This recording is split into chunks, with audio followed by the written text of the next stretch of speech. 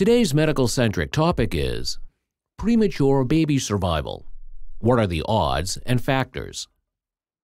Premature birth, defined as delivery before 37 weeks of gestation, accounts for nearly 10% of births worldwide.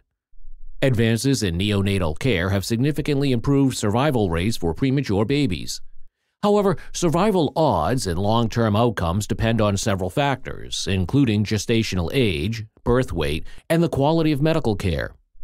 Here's a closer look at the survival rates and factors influencing premature baby outcomes. 1. Survival rates by gestational age. Gestational age is a key determinant of survival of premature babies. Extremely preterm, less than 28 weeks. Survival rates range from 60 to 80 percent depending on medical facilities and interventions.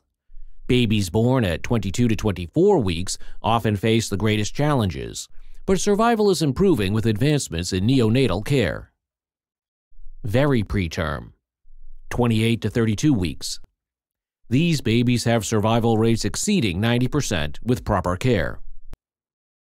Moderate to late preterm, 32 to 37 weeks. Survival rates are close to full-term babies, though some may face short-term health concerns. Each additional week in the womb enhances survival odds and reduces the risk of complications. 2. Factors influencing survival. Several factors affect survival and health outcomes for preterm babies. Birth weight. Heavier babies generally have more developed organs and better survival chances. Low birth weight, less than 1,500 grams, increases vulnerability to complications. Medical care. Access to advanced neonatal intensive care units, NICUs, equipped with ventilators, surfactant therapy, and skilled professionals significantly improves survival. Maternal health. Conditions like infections, preeclampsia, or gestational diabetes can impact the baby's health at birth. Gender. Female preterm infants tend to have slightly better outcomes than males due to faster lung maturation. Multiple births. Twins or triplets often have lower birth weights and higher risks of complications. 3. Common health challenges for premature babies.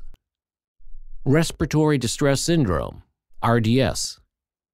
Underdeveloped lungs make breathing difficult, often requiring ventilatory support. Infections. A weaker immune system increases susceptibility to infections.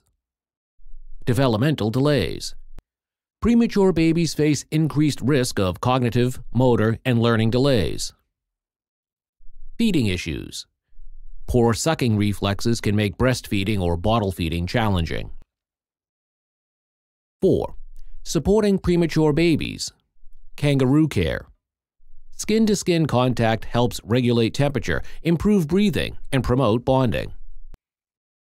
Nutrition.